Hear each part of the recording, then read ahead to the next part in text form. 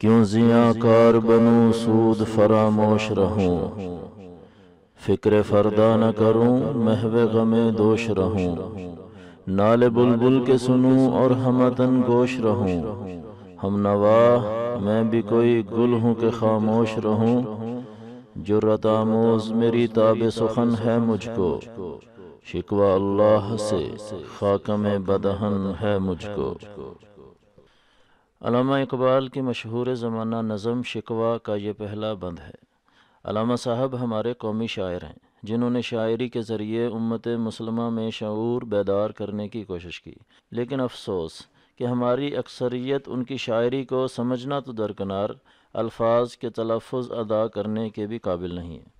अपनी इस अदना सी काविश के ज़रिए हमने अलामा साहब और उनकी शायरी को मुतारफ़ करवाने, मुश्किल अल्फाज के मानी और अशार की तशरी करके अलामा साहब का मतलूब बताने की कोशिश की है।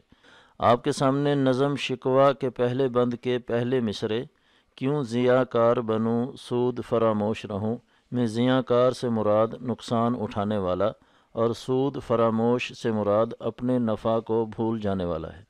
फिर फ़िक्र फ़रदा से मुराद, आने वाले कल की फ़िक्र और महव गम दोष से मुराद, माजी के गम में मुबतला रहना है। इस तरह इस शेर का मतलब ये हुआ कि मैं क्यों नुकसान उठाऊं और अपने नफ़ा को भूल कर क्यों बैठा रहूँ? माजी को याद करके क्यों परेशान होता रहूँ और अपने आने वाले कल की फ़िक्र क्यों न करूँ? दूसरे शेर में नाले से मुराद आहें और इल्तजाएँ हैं और हमतन गोश से मुराद पूरी तरह मुतवजह होना है। इस तरह इस शेर का मतलब ये हुआ कि जिस तरह फूल के पास आकर बुलबुल अपनी शिकायतें और आहें बयान करता है और फूल बुलबुल की इल्तजाओं को तवज्जो के साथ सुनता ज़रूर है लेकिन कुछ कर नहीं सकता या उन आह, या उन आहों को आगे नहीं पहुँचा सकता। तो अलामा साहब ने कहा कि मैं फूल की तरह नहीं हूँ कि शिकायतें सुनकर खामोश हो जाऊँ।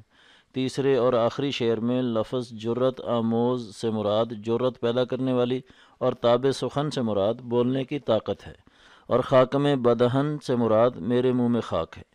जब किसी अजीम हस्ती के बारे में बात की जाती है तो इस वक्त ये मुहावरा बोला जाता है। पिछले अशार में अलामा साहब ने बता दिया कि मैं खामोश बैठने वाला नहीं हूँ, क्योंकि मुझे बोलना आता है, और इसी वजह से मेरे अंदर ये ज़रूरत है कि मैं ये शिकायतें आगे पहुँचाऊँ।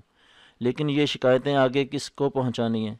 तो इसका जवाब ये है कि ये शिकायतें मैंने अल्लाह अज्जा वजल से करनी हैं। उम्मीद है कि इस बंद का तलफ़ मुश्किल अल्फाज के मानी और तशरीह के बाद इसका मुद्दा और मकसूद भी आपकी समझ में आ गया होगा।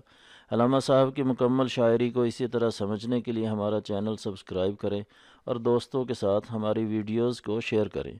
अगले बंद चक के लिए हमें इजाज़त दें। वालकम वरहमल वर्का